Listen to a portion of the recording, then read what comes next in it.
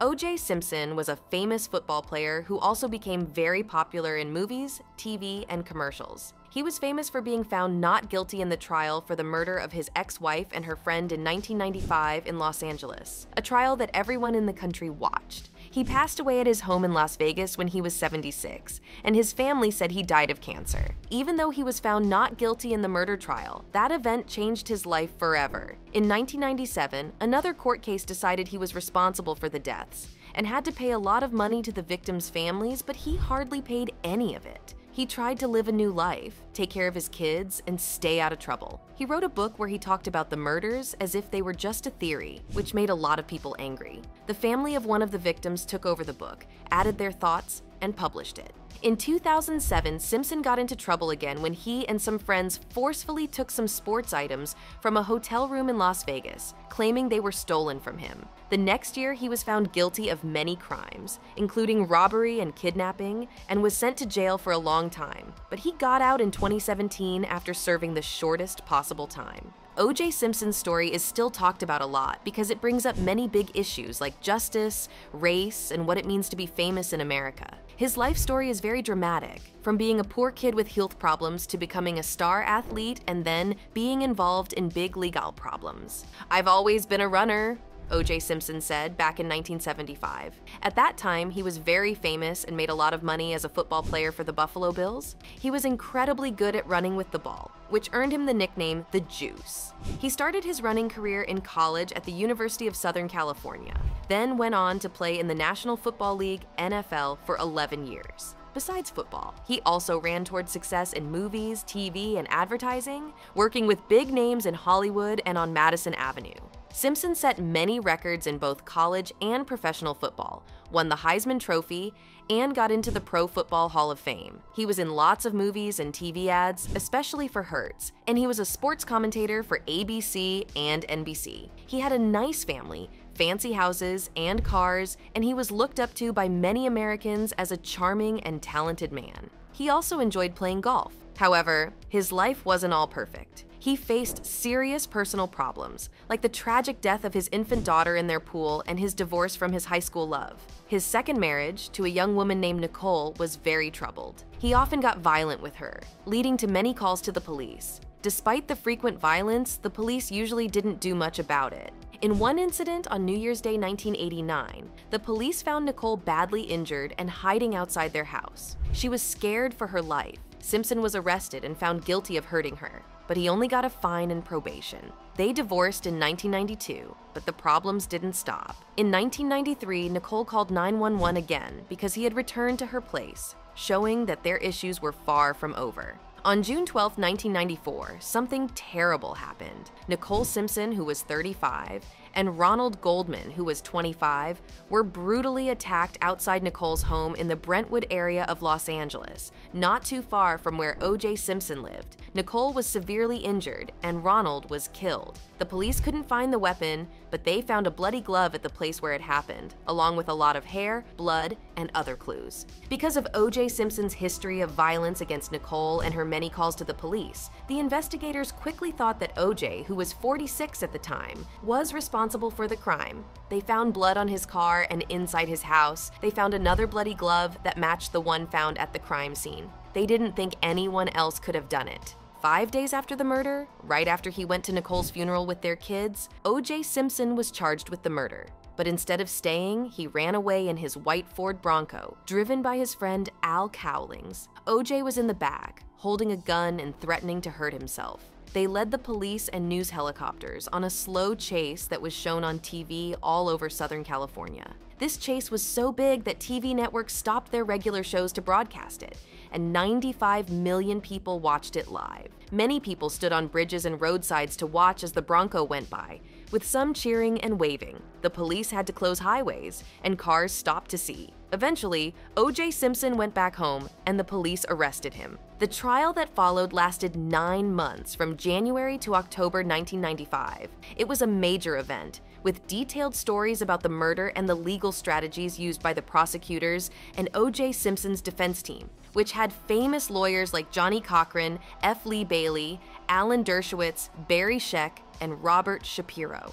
The prosecutors, Marcia Clark and Christopher A. Darden, presented a lot of evidence. They showed that the blood, shoe prints, hairs, shirt fibers, and carpet threads at the murder scene matched O.J. Simpson or his home. DNA tests also showed that a bloody glove found at Simpson's house was like the one found at the scene of the crime. They brought up 62 times when Simpson had been abusive to his wife. However, as the trial went on in front of Judge Lance Ito and a jury with 10 black members, it was clear there were problems with how the police had investigated. Some photos that could have been used as evidence were either lost or labeled wrong. The way the DNA was collected and kept wasn't done correctly, which made people think it might have been messed with. Detective Mark Fuhrman, an important witness, admitted he had gone into Simpson's house and found the matching glove and other key evidence without a legal search warrant. The defense suggested that Fuhrman might have placed the glove there on purpose, but they couldn't prove it. What really hurt the case, though, was how the defense showed Fuhrman had a history of making racist comments. Although Fuhrman claimed he hadn't made any racist remarks for 10 years, four witnesses and a recorded interview played during the trial proved he was lying, which made him less believable. After the trial, Fuhrman faced charges for lying under oath and was found guilty, making him the only person convicted in this whole situation. A big mistake happened during the trial when the prosecution asked Simpson to put on the gloves found with the crime evidence. Simpson struggled to put them on because they seemed too small for his hands. In the end, the defense was able to create enough doubt with their arguments. They claimed that the Los Angeles police were biased, suggesting that Simpson was unfairly targeted because he was black, and asked the jury to consider this trial as a statement against a racist system.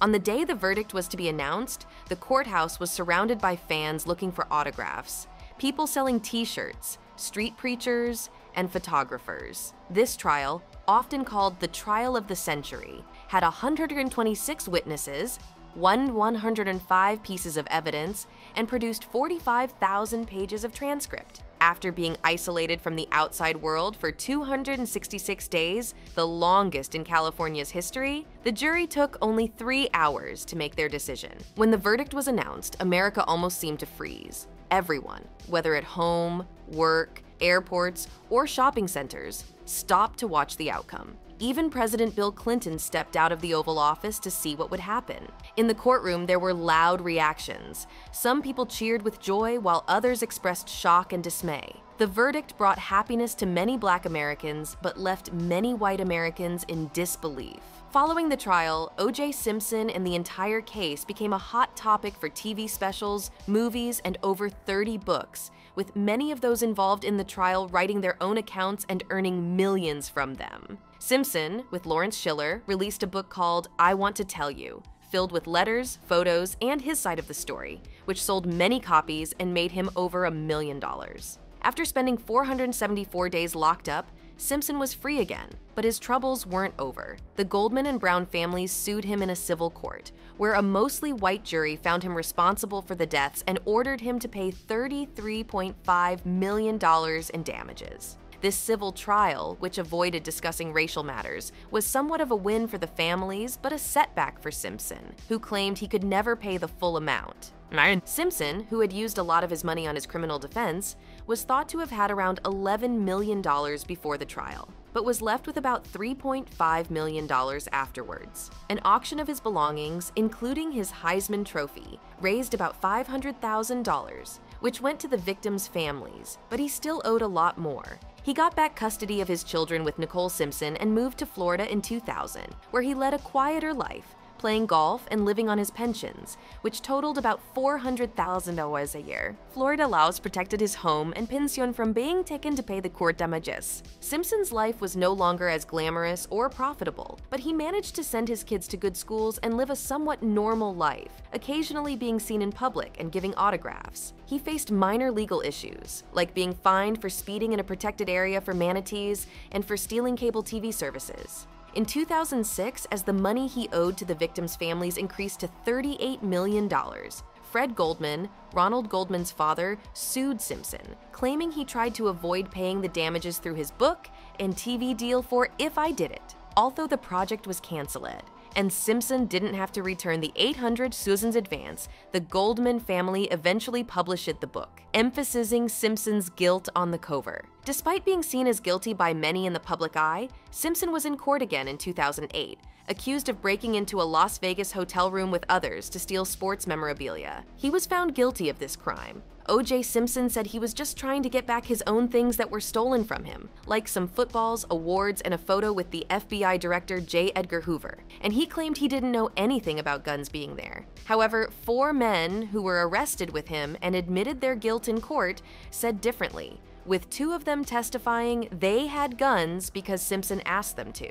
The prosecution also used recordings secretly made by one of the people involved that went into detail about how they planned and did the robbery. On October 3rd, exactly 13 years after he was found not guilty of murder in Los Angeles, a jury with nine women and three men found Simpson guilty of many serious crimes, including armed robbery and kidnapping. Simpson was given a sentence that meant he had to stay in prison for at least nine years. His lawyer promised to appeal, pointing out that there were no black jurors and questioning if the trial was fair, considering Simpson's past. However, the jurors stated that they didn't talk about the murder case during their discussions. In 2013, the parole board in Nevada noticed Simpson had behaved well in prison and took part in programs for inmates, so they let him out on parole for some of the charges, but not all. Simpson asked for a new trial, but a judge in Nevada said no, and experts thought it was unlikely that an appeal would work. He stayed in prison until October 1, 2017, when he was released on parole.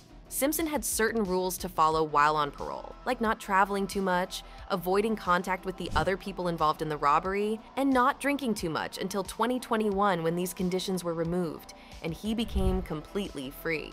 There were still people who wondered if Simpson was really guilty of killing his ex-wife and Mr. Goldman. In 2008, Mike Gilbert, who used to work with Simpson selling memorabilia, wrote a book saying Simpson, while under the influence of marijuana, confessed to the murders to him. Gilbert claimed Simpson said he didn't bring a knife, but used one that Nicole Simpson had, and also stopped taking his arthritis medicine so his hands would swell and not fit the gloves during the trial. Simpson's lawyer, Yale L. Galanter, denied these accusations, calling Gilbert delusional. In 2016, the O.J. Simpson story was revisited in two major TV productions The People vs. O.J. Simpson, part of the American Crime Story series on FX, and OJ Made in America, a lengthy documentary by ESPN, both retold the tale, focusing on the trial and the broader context of race, fame, sports, and life in Los Angeles. These shows were highly praised and reignited interest in Simpson's story. Orenthal James Simpson, who became the top pick in the 1969 NFL Draft, was born on July 9, 1947, in San Francisco, into a family with three siblings. As a young boy, he dealt with rickets, a condition that required him to wear braces on his legs, but he eventually overcame this. His dad, who worked as a janitor and cook, left when OJ was just four years old, so his mom, a nurse's aide, raised him and his siblings in a challenging area of San Francisco. As a young teen, OJ Simpson, who didn't like his first name Orenthal, was part of street gangs. However, everything changed when he was 15 and met Willie Mays, a famous baseball player for the San Francisco Giants. This meeting inspired him a lot. He then started playing football at Galileo High School and became really good in his last year there. In 1967, OJ married Marguerite Whitley, his high school girlfriend. They had three kids together Arnelle, Jason, and Aaron. Sadly, after they split up in 1979, their youngest child, Aaron, drowned in their pool at just 23 months old. OJ married Nicole Brown in 1985, and they had two children, Sydney and Justin. He has four living children Arnelle, Jason, Sydney, and Justin, and also three grandchildren, as shared by his lawyer, Malcolm P. LaVergne. After getting out of prison in Nevada in 2017, OJ moved into a friend's house in a Las Vegas country club area, planning to stay just for a while. But he liked the golf there and the new friends he met, often at restaurants. So he decided to stay in Las Vegas permanently. He lived in a house on the Rhodes Ranch Golf Club course until he passed away. OJ Simpson was amazing at football from a young age.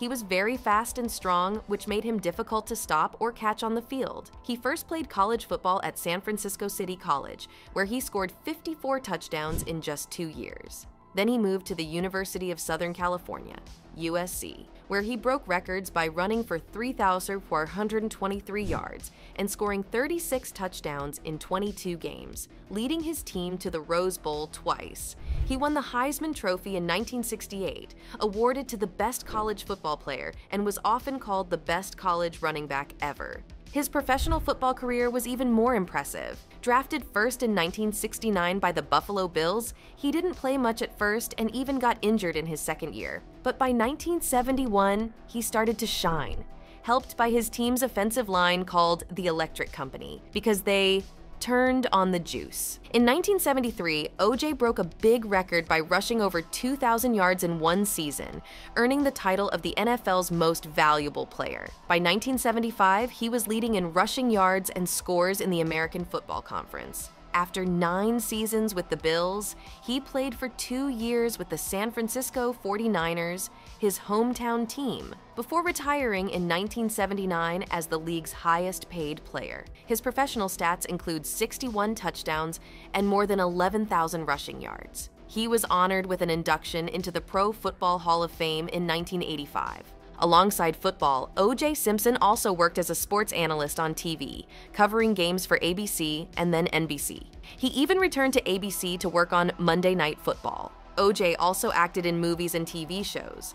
He appeared in around 30 movies, including The Towering Inferno, Killer Force, Cassandra Crossing, and Capricorn One, as well as the comedy The Naked Gun series. He knew he wasn't a serious actor, joking that no matter how much he tried, people wouldn't see him playing serious roles like Othello. O.J. Simpson was known for being friendly and approachable. He often chatted with reporters and fans, signed autographs, took photos with kids, and was modest during interviews, always praising his team and coaches who seemed to really like him. During a time when many were showing support for Black Power, Simpson was known more for his tough playing on the football field than for political statements. His cheerful and approachable image, along with his popularity, made him an ideal person for companies to hire for their advertisements. Even before he started playing in the NFL, he had signed endorsement deals, like a three year contract with Chevrolet worth $250,000. Later on, he promoted various products, including sports gear,